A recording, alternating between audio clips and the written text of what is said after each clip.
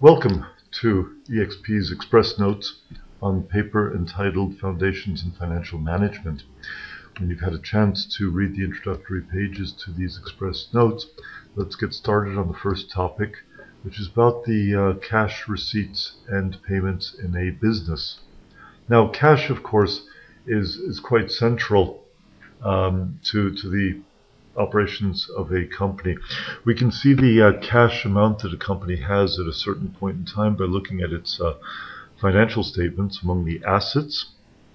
And there's also a specialized, uh, in the annual report, in the financial statements, there's a specialized report called the cash flow statement, which gives us a feel for the amount and movement of cash and type of cash flows occurring over a period of time.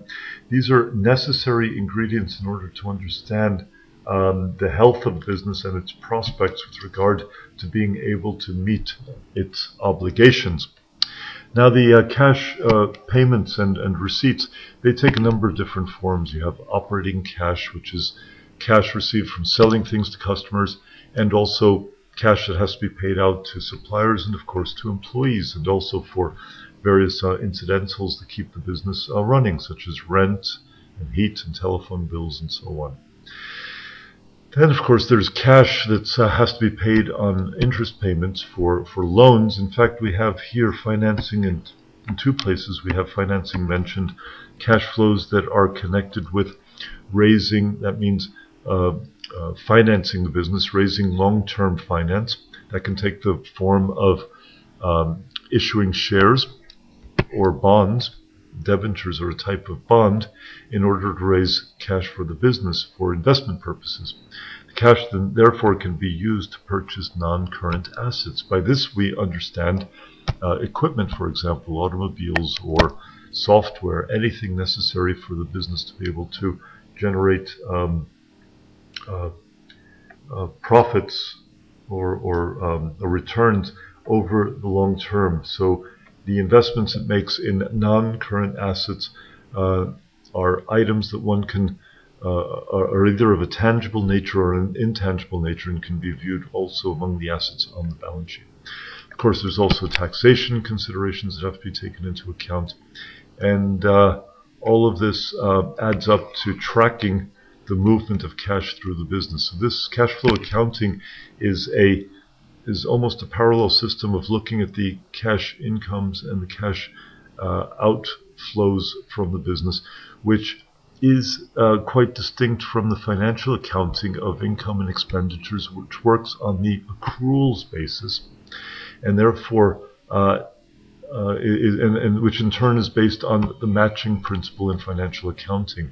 Now, the accruals uh, uh, basis is a, is a, a principle are very important from the standpoint of being able to present uh, financial statements in a, in a way which is deemed to be accurate and reflective of the true state of the business, but it tends to uh, conceal a bit where the cash uh, is going to and coming from, and that's why cash flow accounting is an important parallel system. Of course, we understand that the importance of cash flow management, um, as we said before, um, company depends crucially on being able to uh, pay its bills on time, and that is, is really quite critical. Therefore, there is a series of cash management functions that are within the uh, domain of the uh, treasurer, um, which involve uh, planning cash movements and, of course, the budgeting that goes along with that. So, cash budgeting is an important area in its own right based on making uh, budgets and forecasts for the business in terms of expected cash inflows and cash outflows. What we show here, for example, is a um, is is merely a format, an example of the way in which cash forecasting can take place. One sees here on the left side the cash budget uh, specifies the receipts and the nature of the receipts if sales are being made on a cash basis, then we can specify when the cash is going to be received. And at the same time, if sales are made on a credit basis, those cash amounts would also be received, but perhaps later along this timeline here. We show a six month uh, cash budget here, but of course this can be extended until the end of the year and even beyond if the company decides it wants to do its cash planning over a longer period of time. But generally up to one year would be considered a short-term cash flow forecast. Now we can see here that almost everything is anticipated. If equipment is sold for scrap value equipment disposal, this is capturing the cash that comes into the business. We also have a series of payments that have to go out of the business, and you can see here quite a laundry list of all the typical items that a business has to spend on in order to maintain itself. The important thing is to be able to calculate what the net cash movement is on a month by month basis. So we have the cash inflows, the cash outflows, and the net cash movement for the month. And if you recall the uh, cash balance we spoke about at the very beginning of this session, well, we would carry a cash balance here and add to it if there was a net inflow of cash or subtract from from this if there was a net outflow of cash. So we can always maintain uh, or anticipate what the cash balance will be at the end of each month.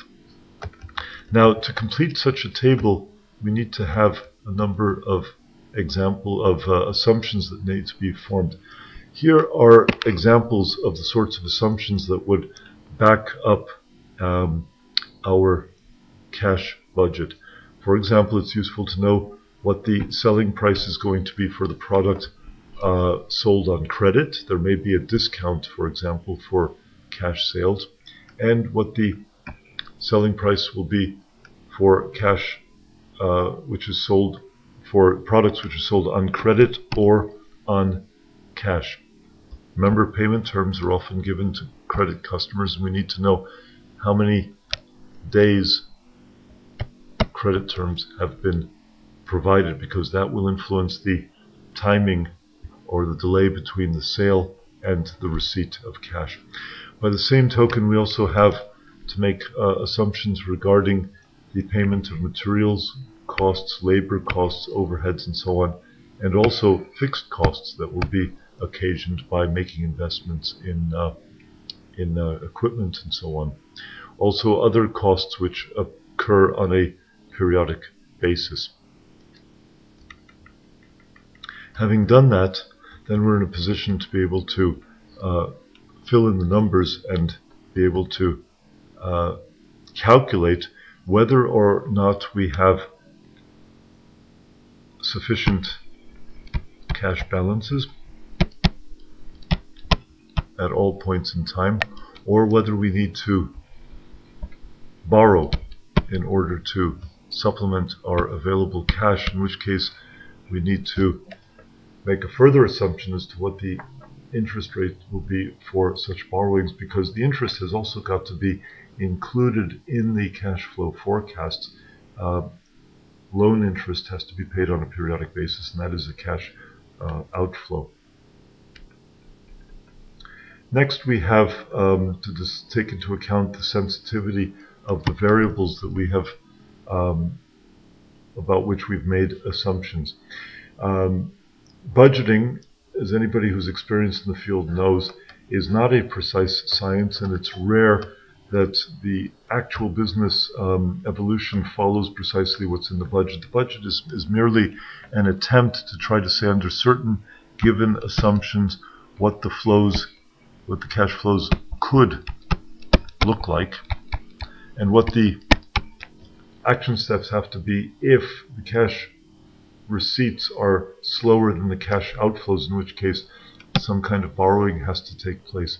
So it is usual, having set up a base case budget for cash, that we can start to stress test it and check the sensitivity of um, the various variables that go into it to see what happens if there is a delay uh, in certain cash items and what kind of uh, financing gap is this going to um, impose on us.